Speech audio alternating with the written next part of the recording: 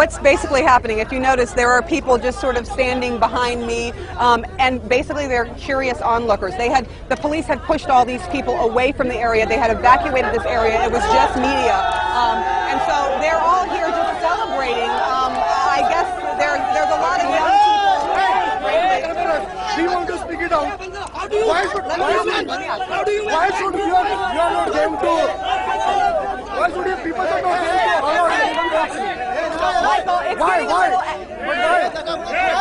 Why? It's getting a little out of control, but there are people here who want to speak. Michael, Your show is going on. So Your let- show is going on. let me ask We you, sir. are here, here able, we are, we are able to be waiting come, come talk to me. Come talk to me. Come talk to me. Ma'am, it is not, it is a matter of talking and not, are the people, people is waiting for that. is coming to the office. We are here, we are waiting for the, we are waiting for the five o'clock.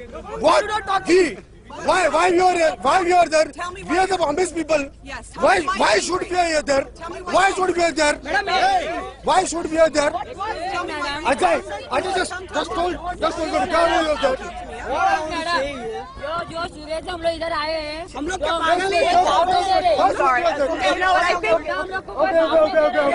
Media का people उनको बोल रहा है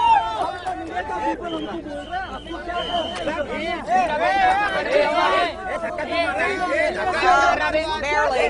I gotta get out of here, guys. So tell me. Yes. uh, Tell her why should we are there?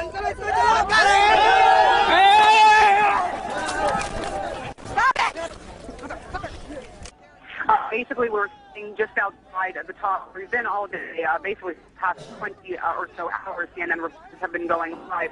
Uh, it just so happens that the situation at the Taj has down a bit. We've noticed that uh, the Army has come out of the uh. They have been sending in ambulances much closer that appear to be picking people up and leaving the Taj. So the, the situation with the Taj and the possible uh, terrorists inside and hostages seems to be over. That is what authorities were telling us as we were standing outside talking about that, a large group of people came around. They were chanting, many of them young, uh, smell of alcohol on their breath, frankly. Uh, they were standing very, very close, and suddenly uh, it sort of chaos erupted, and they started grabbing us and, you know, pushing, and suddenly they, they pushed our cameraman backwards and over and, and feeling very aggressive, and they were kind of yelling at us, why are you reporting this? Why are you reporting this?